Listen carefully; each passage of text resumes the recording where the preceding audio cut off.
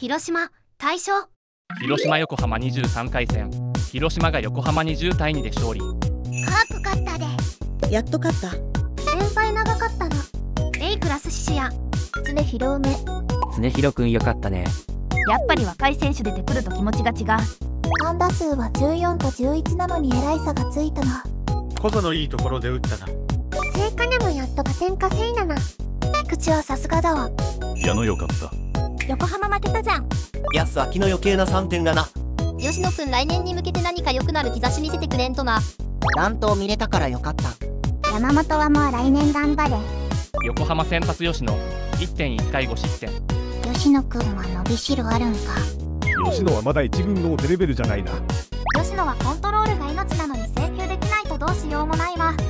横浜リリーフ京山1.2回1失点。京山広すぎプス京山。京山はもう野球できないかもしれません。横浜リリーフ坂本。1回1失点。坂本という左打者に通じない左投手。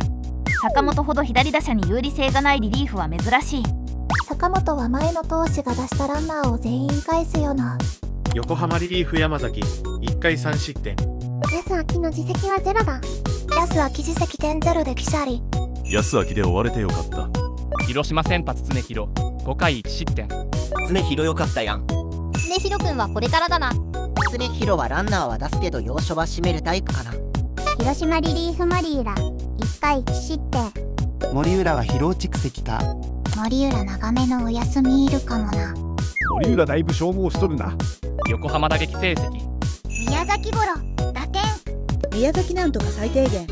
宮崎にしては雑なんだよな。桑原タイムリー。桑原ナイス桑原の思いは本物だな。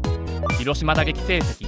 琴の先制2点タイムリー。さすが小園さん。やはり琴野は主役。